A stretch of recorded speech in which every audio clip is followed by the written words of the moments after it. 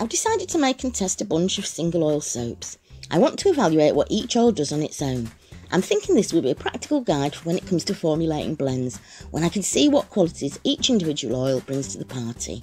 It's something I've been interested in doing for a while, and I'm not expecting to see vast differences between most of them, but there's only one way to find out for sure, and that's to do it.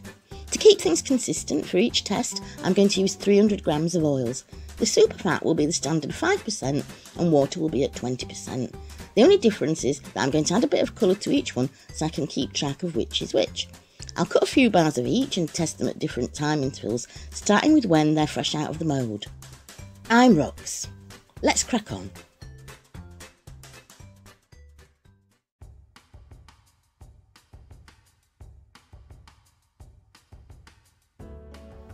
Today I'm testing out 100% cocoa butter soap. Here's what my recipe looks like on soap calc. So there's a pretty much even split between palmitic, stearic and oleic acid. So in theory we should get a hard soap with stable, creamy conditioning lather. Let's see how it works out. As for all the soaps in this series, it's not about the making but about what kind of soap we get at the end. So I'm just going to speed through all the prep. I thought this might trace faster than liquid oil soap batter, especially because of the stearic acid content, but it didn't. It took longer than I anticipated to get to even a light trace, so when it got to that point, that's when I poured it in the mould. I expected it to set quickly and be very hard. It did and was. I'm cutting this at around 24 hours and glad I didn't wait any longer. It's really hard and for me was bloody hard to cut through. You can see the pressure I'm having to apply.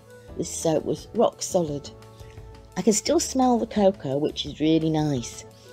The soap's smooth and kind of more matte looking than the liquid oil soaps. Let's test it.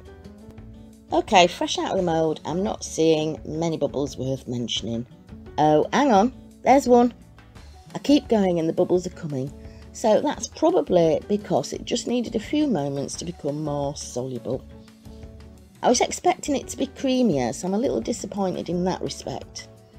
This soap left my skin feeling a bit on the slimy, slippery side and I wasn't too keen on that feel, but my hands did feel lovely and soft when that sliminess wore off. I'm looking forward to seeing how this does after it's cured for a while. Right, that's 100% cocoa butter soap. Thank you for watching and I'll see you again later. Ta-ta!